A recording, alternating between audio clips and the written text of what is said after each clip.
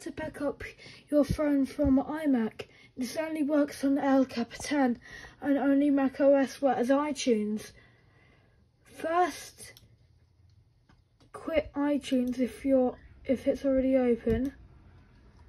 Click on iTunes.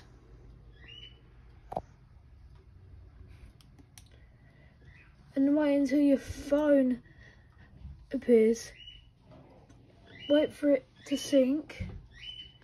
And if you click on the backup button right here,